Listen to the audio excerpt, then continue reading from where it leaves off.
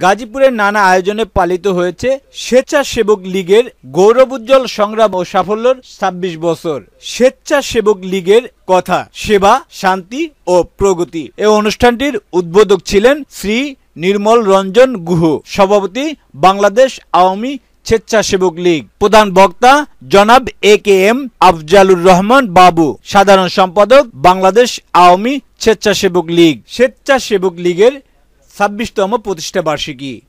গাজীপুর মহানগর স্বেচ্ছাসেবক লীগের সভাপতি রঞ্জিত মল্লিক বাবুর সভাপতিত্বে যদবপুর কমিউনিটি সেন্টারে এ অনুষ্ঠান অনুষ্ঠিত হয়। উক্ত অনুষ্ঠানে আলোচনা সভা, মিলাদ ও দোয়ার ব্যবস্থা করা হয়। তার মাঝে শিক্ষা উপকরণ ও খাবার সামগ্রী, নানা জাতের বৃক্ষ, চারা বিতরণ করা হয়। সরকারের বিভিন্ন উন্নয়নমূলক কর্মকাণ্ড জনগণের মাঝে তুলে ধরার আহ্বান জানানো হয়।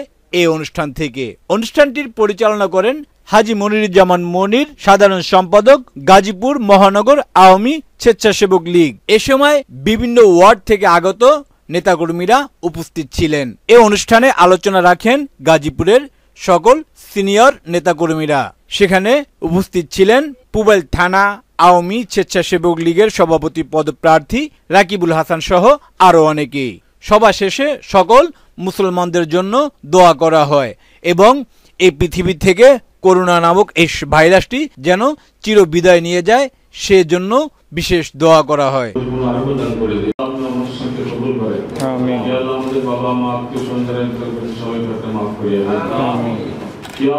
অনুষ্ঠান সফলভাবে অনুষ্ঠিত হয়েছে আল্লাহ।